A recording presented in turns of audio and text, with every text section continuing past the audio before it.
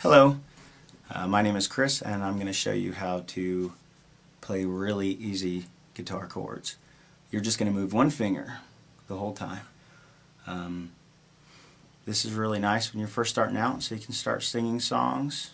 Um, it's really nice to be able to worship and not worry so much about playing the guitar. So usually with these four chords that you can play any song with and I'll teach you that on another video. Um, they're going to be G, D, E minor, and C. And you're just going to move one finger.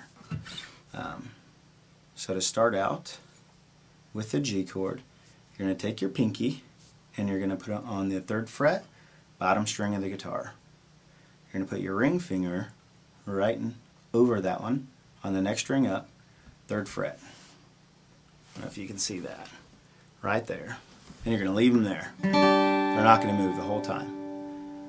Next, you're going to take your your middle finger, and I'm not flipping you off, you're going to take your middle finger and you're going to put it on the top string on the third fret, and that's your G.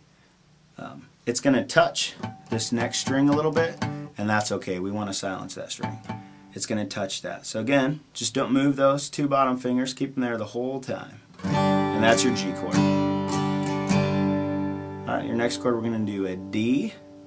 So you're going to lift that top finger off. You're going to take this finger, your index finger, and you're going to put it on the second fret on the third string up. And that's you're going to be your D. So again, your G. Can kind of put your finger there and get it ready, and your D. So your G and your D. So you can put it right and get it there. G to D. One finger. Very easy.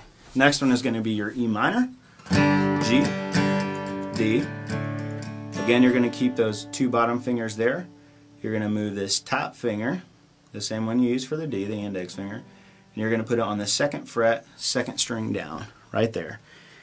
And it's naturally going to touch the, the string just below it. That's okay. It's going to be silent, so that's going to be your E. Just one finger moves at a time. See that? G, D, E minor, and the next one is going to be a C, and you're going to take this E minor. You can either just move that over one, like that, or you can take your middle finger and you can put it on the third fret, second string. Just down one fret. See how easy that is? So G, D, E minor, C. Very easy. G, D, E minor, C. I'm going to show you how easy that is. Um, I'll talk to you in another video about putting a capo on and where to put it. But with a capo, you play everything relative to that capo. So I'm going to put this on the 5th fret, and I'm going to show you some things you can do with these chords. Just going to downstroke, real easy. Blessed be your name in the land that is plentiful, where the streams of abundance flow. Blessed be your name. Play that through the whole song. There's another one we have on there, same chords, one finger chords. And if you look on the videos, you'll see that rhythm guitar is just one finger chords. That's all I'm doing. Um, you'll see another one on there. It's All I Have Is You. And Jesus, all I have is you.